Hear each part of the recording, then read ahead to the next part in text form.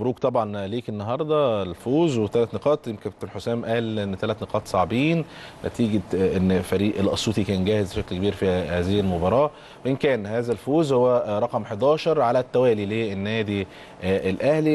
يا رب إن شاء الله يبقى الفوز 12 و13 حتى نهاية مبارياتنا في هذا الموسم يبقى فوز متتالي. كابتن وإحنا بنتكلم على يعني استكمالا لكلام كابتن عادل وشكل الجدول الدوري بالنسبة لهذا الموسم وتربع النادي الأهلي حتى الآن على قمة الدوري. بيوريك الفارق ما بين النادي الأهلي في التوقيت ده وباقي الأندية يعني تباعا بعد النادي الأهلي الإسماعيلي طبعا المصري الزمالك سموحة حتى يعني نهاية الجدول يا كابتن الإسماعيلي والمصري والزمالك أعتقد إن هم بيحاولوا جاهدين إن هم يبقوا الوصيف السنة دي في الدوري يعني. أقرب واحد هو الإسماعيلي. هو اللي يمكن ناقص له ماتش وعنده 46 نقطة. يبقى 49 يبقى الفرق حوالي 15 نقطة أو كام نقطة بينه وبين الأهلي؟ 14 نقطة حاجة كده. حاجة صعبة جدا طبعا إنك أنت لما تبقى خلف النادي الأهلي بالمقدار ده من النقاط.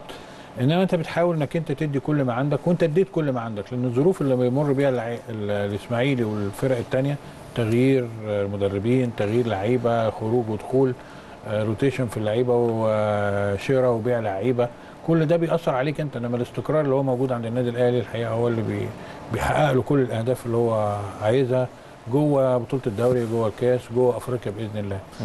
كل الفرق دي آه خلاص يعني اتعلمت الدرس حتى من منتصف الناس اللي في النص مش مش آمنين يعني. انت لما تيجي تشوف آه 29 30 31 32 30 هتلاقي في 23 25 26 بقت أعمار مباريات أي فرقة النهارده بتكسب 3 بونت بتيجي من المركز ال 15 تبص ليه بقى في المركز ال 12 يعني بينط أو بيقفز ثلاث آه مراكز.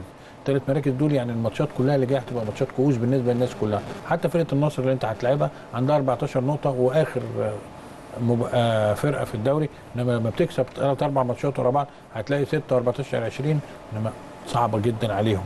لأن في ناس قاعدين في الاستوديوهات التحليلية يقول لك إحنا لما بنتكلم على الرجاء والنصر وطنطا نقول صعب قوي عليهم إن هم يبقوا موجودين في ويعوضوا وما ينزلوش السنة الجاية وكمان بيزعلوا. إحنا ما بنزعلش. هو الحكاية إن الفرق الثانية زي الأسيوطي النهارده والاتحاد بيرجع تاني مصر المقصه موجودة كل الناس دي عندهم النيرف والأداء اللي هو يخليهم يكونوا موجودين يعوضوا اللي فاتهم حاجات كده. إنما شكل الدوري الحمد لله بالنسبة للنادي الأهلي ما ما عليه غير إن هو الإصابات عنده يبقى قليلة. الضغط النفسي العصبي اللي إحنا قلنا عليه ده اللي هو موجود اليومين دول بالنسبة للإصابات ثلاث كل ثلاث أيام ماتش هو ده الحاجة بس اللي بتقابل النادي الأهلي. إنما الشكل والكيان وبقية اللعيبة اللي اتكلم عليهم حسام اللي هو الاحتياطي البديل اللي هو موجود. عندك لسه مساحه كبيرة جدا. صحيح. عايز أتكلم مع كابتن ربيع فيها يا كابتن. توقع بقى كابتن الفترة اللي جاية بالنسبة بداية من فريق مباراة النصر إن يبقى في تغييرات في التشكيل تكون أكتر من اللي إحنا شفناها النهارده؟ يعني النهارده كانت تغييرة واحدة حسام عاشور أو هشام محمد مكان حسام عاشور. لازم لازم يدي راحات للناس. إحنا قلنا إحنا الهدف القادم بتاعنا بمشيئة الله تعالى هو البطولة الأفريقية.